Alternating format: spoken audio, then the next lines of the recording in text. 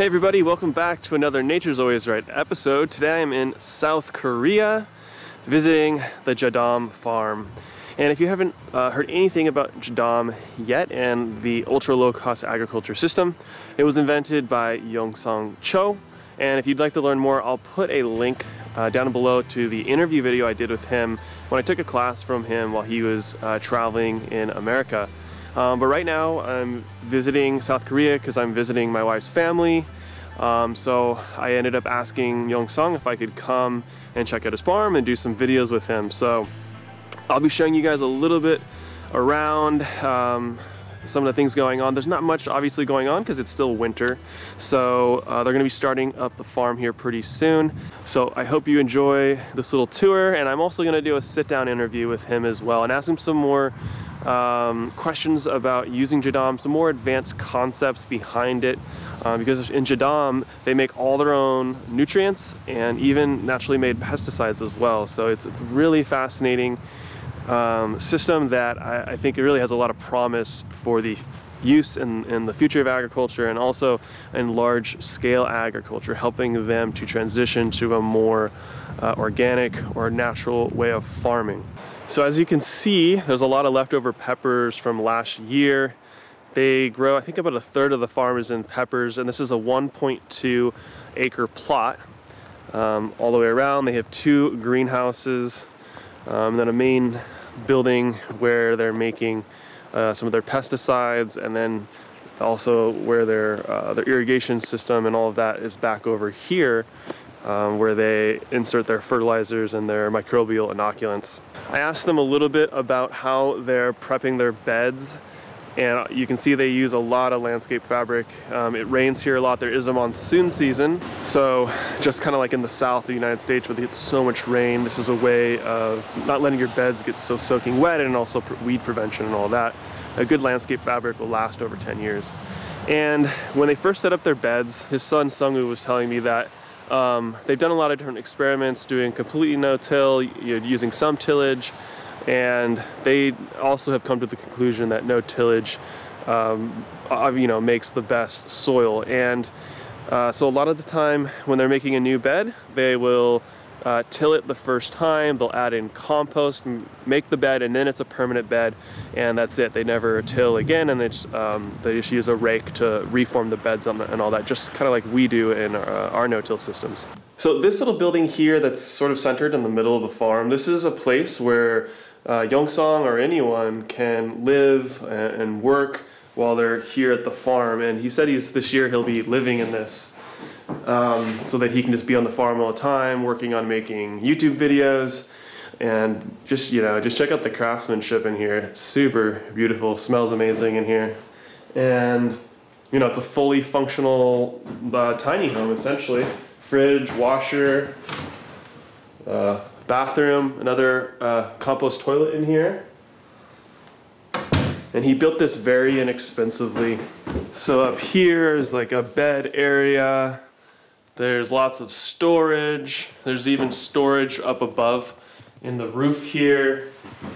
And this is a little spot for his desk and computer and all that sort of thing. He was telling me about a concept he has where um, you know, he really wants to make the farming lifestyle really appeal to people so that they'll want to do it and try it themselves. And he talked about, you know, it would be so such a great thing for, you know, retired people to have a place um, where they can farm and even live.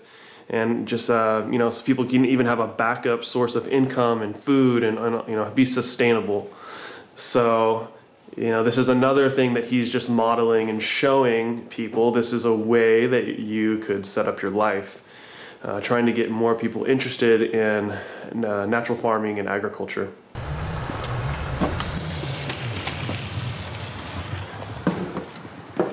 So now we're in kind of this really special space at the Jadam farm where they call it the brainstorming center and a little bit of pesticide research is done here as well. And as you can see, there's a, a large space for entertaining.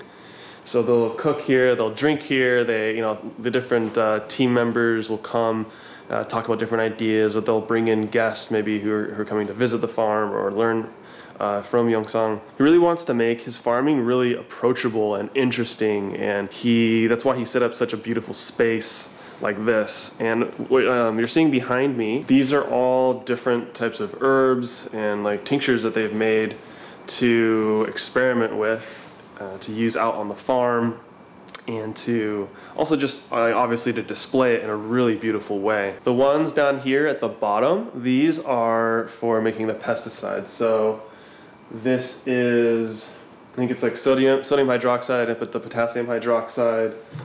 Uh, this is a type of clay. This is a rock, uh, powdered rock, just like an azomite. And then this is the sulfur, so you can mix these together and, and make the Jadam JS uh, sulfur. So uh, yeah, I just think it's really interesting the way he thinks about things and the way he thinks about getting his message out there and his style of farming. Uh, and then in here, this is the, the bathroom, but check out how cool this is. So it's a composting toilet, and I, obviously you guys can't smell, but it smells perfect in here. There's no smell at all. And they've got their carbon source, and he was telling me that he figured out that you can, um, you know, after you use the bathroom, you add in the carbon source saw- sawdust, and then to completely eliminate the smell, he figured out uh, through. He said he was watching the news one day, and it was, you know, something caught some murderer, and the, the way the murderer was getting away with hiding the bodies was he'd hide the bodies in starch to get rid of the smell. So that gave him the idea of adding starch. So he told me he adds 1% starch and then there's completely no smell um, in his composting toilet process. So I, thought, I just thought that was pretty interesting and really sweet bathroom. All the woodwork that he has um, done in, in here and his main office is just really beautiful. Uh, this is the current irrigation system that we have. Yeah, so then one of this is JMS and one of this is for go, go, pesticide. Pesticide, uh, the pesticide? natural pesticide and uh, JMS. Uh, by turning this mm-hmm. on, mm -hmm. it will uh, just supply all the pesticides to the each of the line, yellow line, So when we connect the stick, then it can. Yeah. Yeah. What is your uh, so all the water goes into this big tank 어, right 여기 here? 물, 물 여기로 어, 오는 어. 거죠. And where does the water get pulled from? Is there a well or is it 아, from the 여기 city? 물은 or- 어디서 오는 거? 지하? 지하수. Yeah, underground. Underground well. Ah.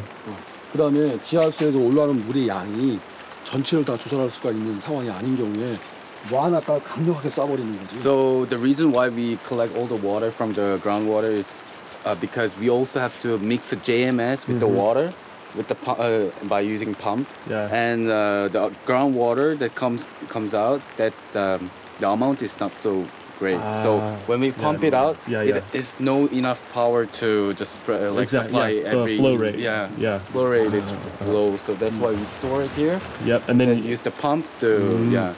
How many gallons or uh, liter is this? Yeah, 5 ton, ton, 5 ton. And then how long will this last for? We finish it like within a day. So every day? Every day. Uh, not exactly every day. When it's hot, like we irrigate it. we irrigate yeah. it and take, uh, yeah, if we irrigate twice, then the water is gone. Mm. Yeah. So this is the JLF that we all collected and then every, again, like when we think it's kind of lack of nutrient, then we add mm. filter it and add it to the JMS mm. container. So we just irrigate them at the same time. So you do JMS and JLF at the same time? Yeah, at the same time. How do you move it from that bin to here? Just with a bucket. Just with the bucket. Yeah. Because all we need is like twice or thrice, like just Yeah. two times or three times to irrigate. This is electric pump.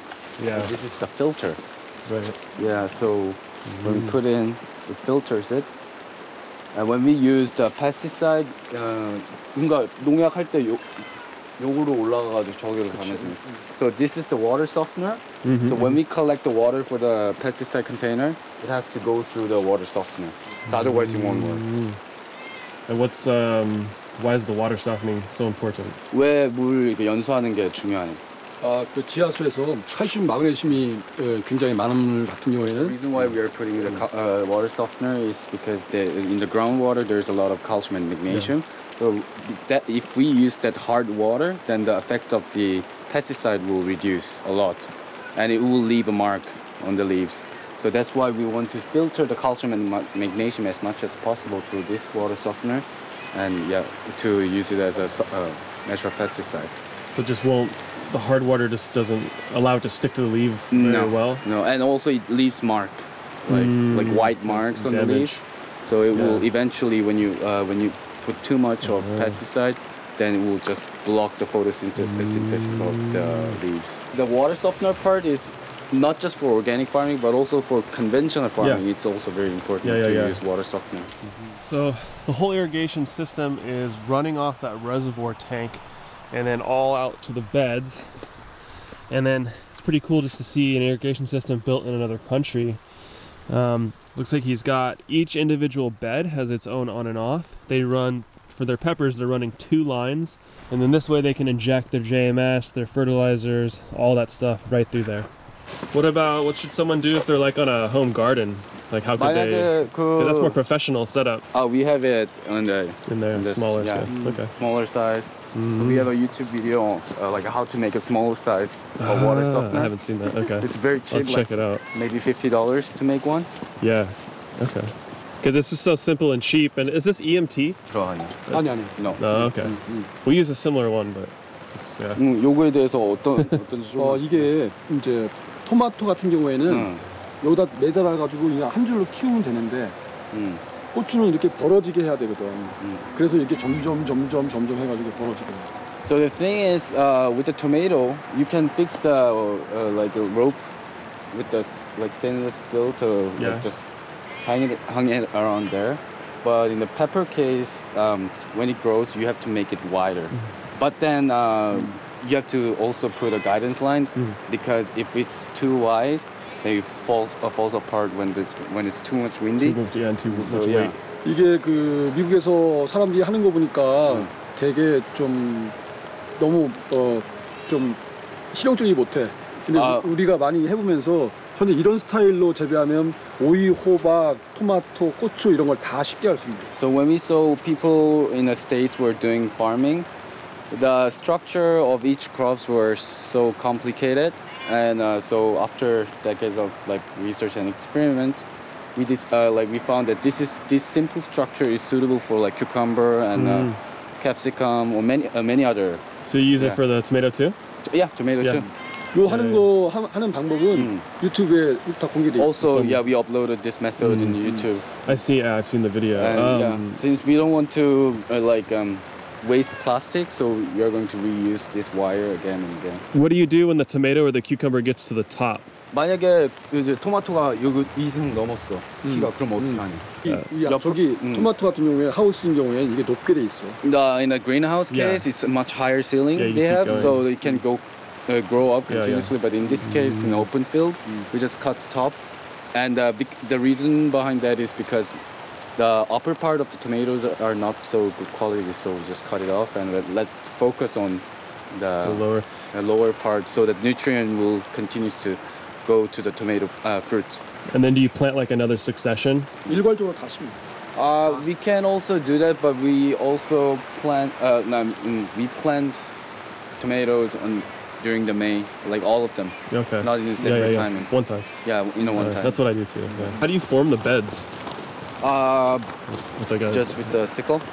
Uh, not the sickle, rake? like a rake. Yeah. yeah, just rake it up and then go. Uh, first, when we do it, we use the machine, Mm. but small. Yeah, yeah, yeah, a small small lighter tiller. machine. Yeah, tiller, to make uh, make the ridge. Right. Then after that, with the rake, we And then just no cut it up. Yeah. Yeah. And around. do you ever add compost out here or no? It's Yeah. Only, yeah. Yeah, that's the compost. Yeah, the the bags, yellow bags Yeah. are the compost. When do you add compost? Like once a year, or do you just or once Once a year. once a year in the 1년에 beginning? 한 번만 넣잖아요. 이거 시작할 때 before before transplant uh, before transplanting. Yeah. Yeah, the black thing on uh, th- that you see on the on there. Uh-huh, That's the uh-huh. compost. It all decomposes with the Ah, microorganisms, like without tilling. Why do you also do compost in addition to like JMS and JLF? Isn't the JMS providing the 그 microbes? 아 미생물만 가지고 농사는 안 돼. Uh, you cannot actually farm just with the microorganisms. 어. Yeah, 그 컴포스트가 들어가고 you have to have a compost to have a per- uh, like a 어. optimal uh, nutrient 어, for 어. the crop. 되게 이제 미생물만 주면 되는 것처럼 생각하지만 어, 도움이 되지만 작물을 크게 키울 수는 없어. Uh, microbial solution is helpful, but it does not allow, uh, like, it does not help the crop, uh, helps the crop to grow uh, bigger, higher. Mm, but what about with the JLF? Does that 그 like, 음식물 액비는 어 그것도 도움이 되는데 어, 농사를 좀 수확량을 많이 늘리려면 그저 베이스 퍼틀라이저를 갖다 충분히 거죠. So What's the um, base? yeah, we use that sometimes. Like as I told you right there, like um, we use that sometimes, like when we see something slack. But Mm. uh, before, uh, I mean, before farming, we need to make at least a perfect base fertilizer. a lo- Yeah. So that it will be good starter kit. Exactly, Yeah. yeah. Mhm. And later on, when we think it's a lack of nutrient, that we add JLF. Right. So like on peppers or cucumbers, you're growing a long time, Mm. and then you know they're kind of using up the nutrients in the soil. Then you feed them more, Yeah. boost them with that. You don't come in and add more compost. Yeah, we'll, Okay. we, we always check whether that uh, it seems needed or uh, needing or Mm, not. Then mm, we add it or decide not to add it. Yeah. So it's uh, obviously raining today, so it's been a little bit tricky to get some footage. I won't be able to show you guys as much as I totally want, but I hope you will enjoy the interview with him. So be sure to watch that next.